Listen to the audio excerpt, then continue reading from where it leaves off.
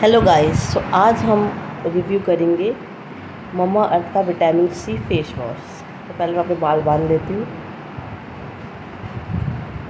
सो so, या yeah, ये है face wash vitamin C face wash Mamaearth का। क्योंकि मैं बहुत टाइम से यूज़ करना चाहती थी। सो लेट्स स्टार्ट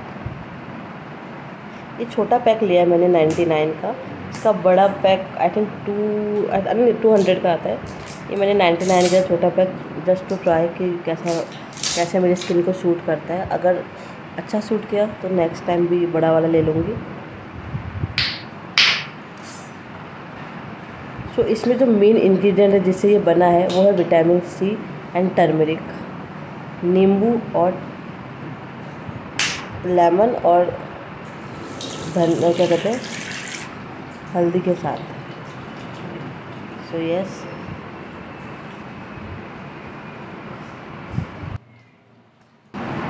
जैसे कि ये बहुत सारे इंग्रेडिएंट से बना है बट जो मेन इंग्रेडिएंट जो मैंने इसमें देखा है वो है lemon and ginger that is अदरक. और थोड़ा बहुत इसमें टर्मरिक भी है। जो हम घर में फेस वॉश बनाते हैं अपने होम मेड उसमें हम हल्दी और लेमन, नींबू सब डालते हैं तो ये उसी से बना है। सो आप भी एक बार ज़रूर ट्राई कीजिए।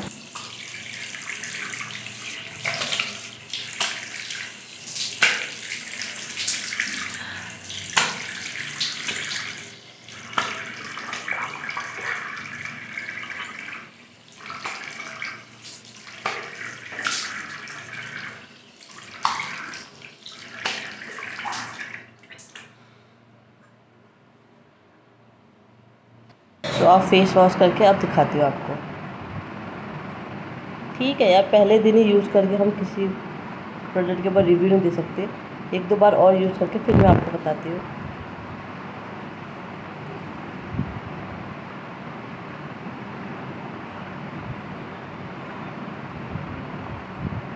धूप तो मैंने धूप में फ़ोटो खींची, क्या धूप में अच्छी आ जाएगी।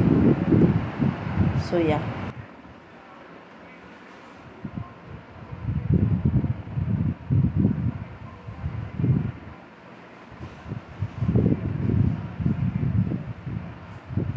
सो मैं अभी अभी फेस वॉश किया है। ये है डे टू